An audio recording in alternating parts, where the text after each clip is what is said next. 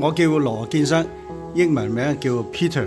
我嘅祖籍係順德勒流，我係加拿大籍嘅華人。我移居咗國外幾十年啦，但係每逢到到春節元宵，我哋都會諗起家鄉，都希望翻嚟過節。因為之前嘅疫情，我已經有三四年咧冇翻過嚟過節。三年前嘅年初一，我哋喺多倫多接到家鄉嘅消息，講因為國內發生咗個疫情，我哋聽到呢個消息之後，好希望可以幫到忙。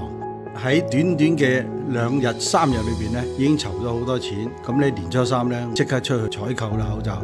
想唔到口罩已經升到三十蚊加幣一個，就相當於一百七十蚊人民幣一個。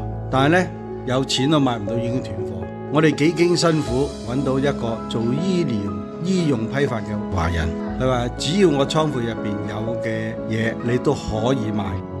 即係引證咗海外嘅同胞咧，對祖國係好關心嘅，大家都義無反顧咁去幫忙。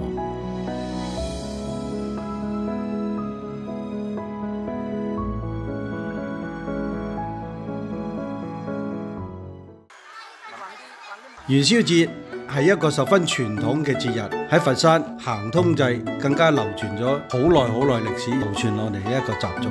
呢次我翻嚟咧，好開心可以睇到。通濟橋又恢復翻以前嘅熱鬧，好想去行一行，亦都好想用我自己嘅筆記錄呢個熱鬧嘅一刻。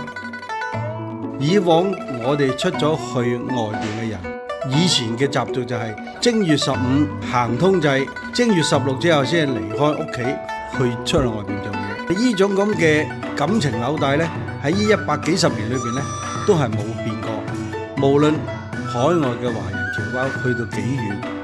都保留咗對家鄉嘅鄉情嘅一種嘅懷念。